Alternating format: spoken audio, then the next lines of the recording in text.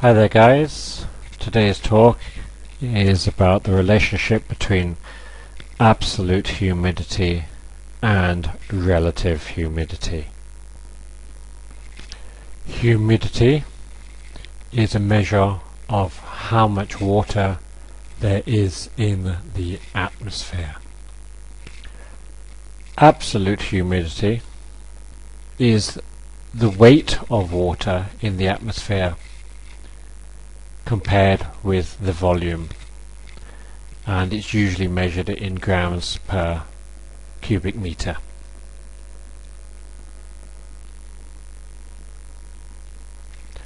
Relative humidity is donated by this symbol here and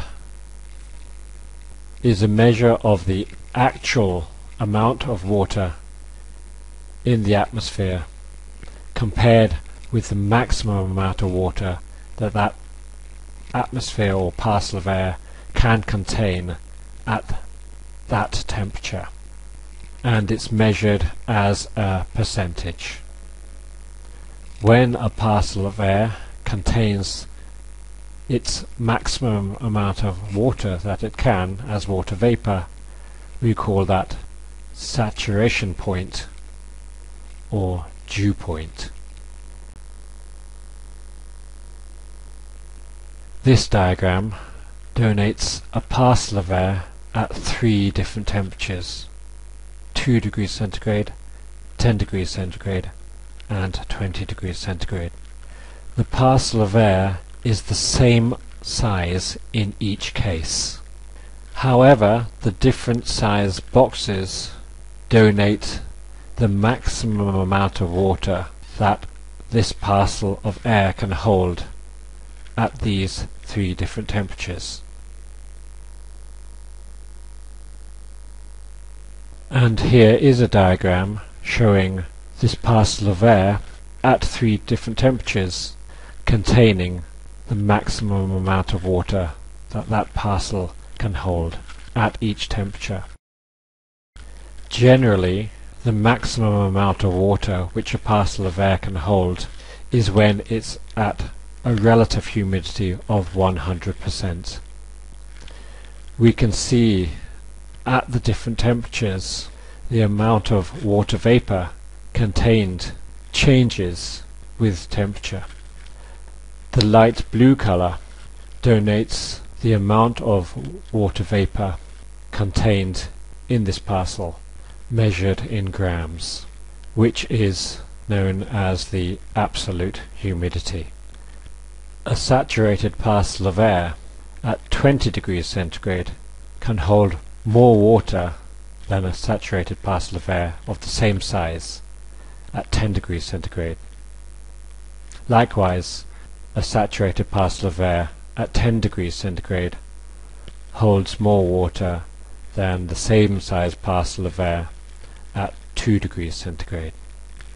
In other words, as we increase the temperature the ability for a parcel of air to hold more water increases.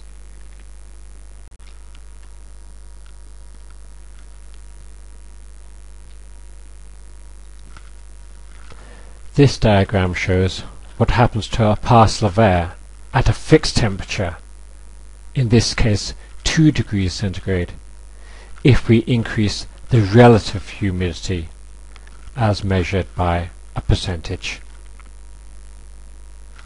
You can see as we increase the relative humidity the amount of water contained in this parcel of air goes up as donated by the light blue color uh, measured in grams. Generally an increase in relative humidity will result in an increase in absolute humidity.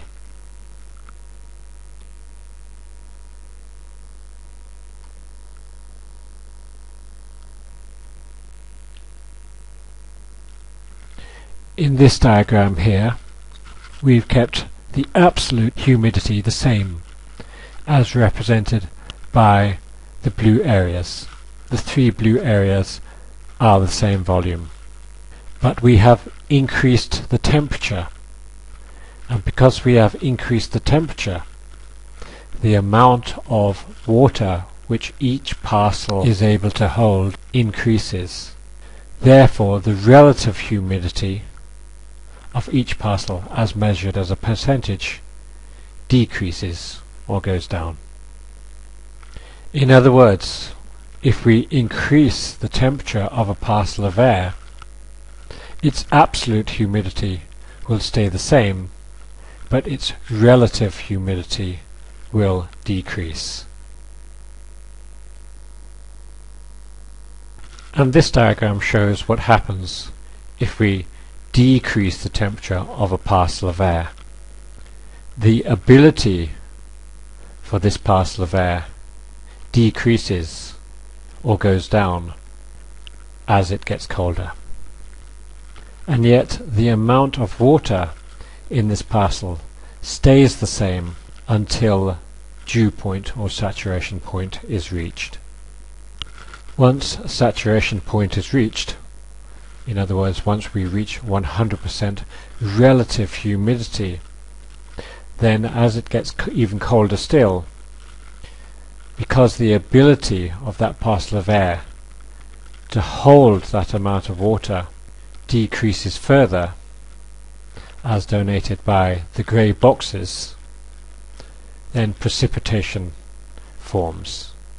For example, precipitation in the form of dewdrops, fog, rain, snow, etc.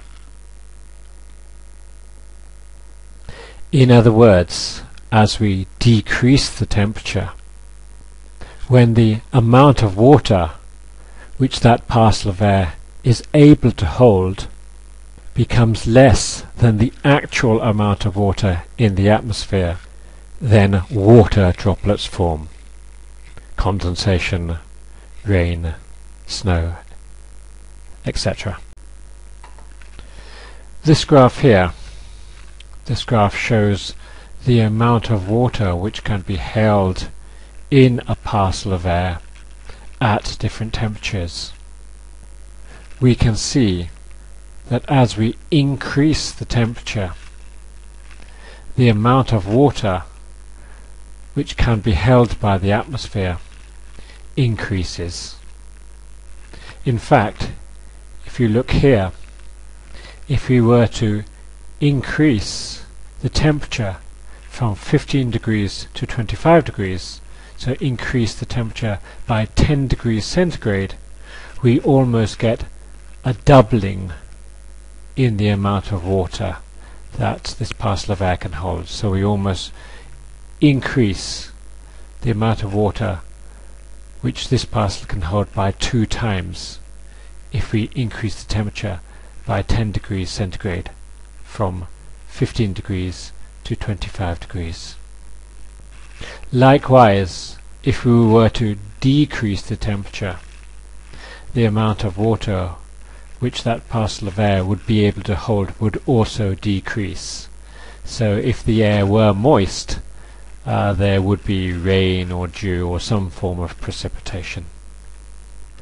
Now it's from our understanding of humidity that we can understand the part water vapor in the atmosphere plays on global warming. Generally, scientists like to look at water vapor as a feedback mechanism. In fact, if there were no water vapor in the atmosphere, global warming probably wouldn't be such a big problem. Not only is water vapor a better absorber of long-wave radiation, but there is also 10 times as much water vapor in the atmosphere as there is carbon dioxide. In other words, water vapor is a very, very effective greenhouse gas. Let's have a look at why scientists like to call water vapor a feedback mechanism. If we draw a graph and on the left here we have water vapor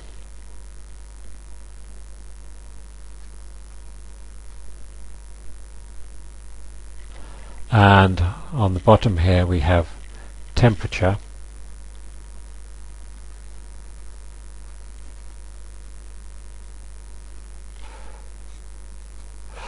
we know that as you increase the temperature the amount of water vapor in the atmosphere increases. Now we have already established that carbon dioxide CO2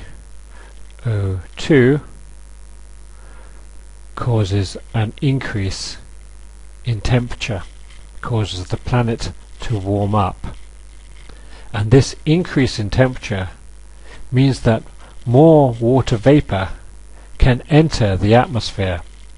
And because water vapor is a greenhouse gas, the extra water vapor entering the atmosphere will also heat up planet Earth some more. So in fact, water vapor amplifies the temperature increase which would otherwise be caused just by carbon dioxide. Water vapor is an amplifier of the temperature increase. So, just to repeat, carbon dioxide causes the earth to warm and because the earth is warming it means the atmosphere can hold more water vapor and because water vapor is a greenhouse gas this causes further warming. But it's important to realize that carbon dioxide is the trigger for this process if one were to try and increase the water vapor content of the atmosphere without increasing the temperature first, then the additional water vapor in the atmosphere would just get rained out. For example, if we say that the temperature of planet Earth at the moment is 15 degrees centigrade,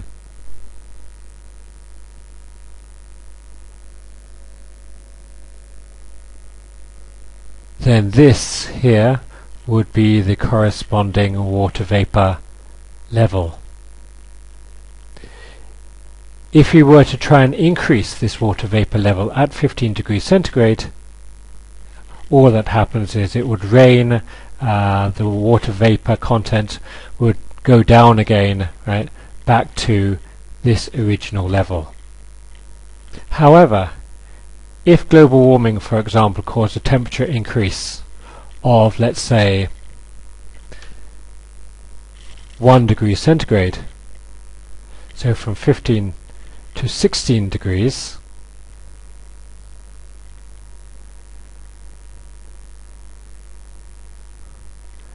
then this increase in temperature would in fact result in an increase in the amount of water vapor and this increase in the amount of water vapor because water vapor is a greenhouse gas would also further increase the temperature causing more global warming.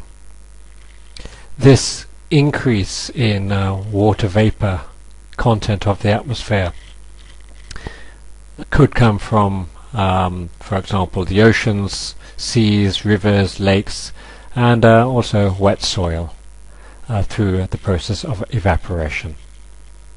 Okay, I, I hope you have understood that. I'll see you next lesson. Bye.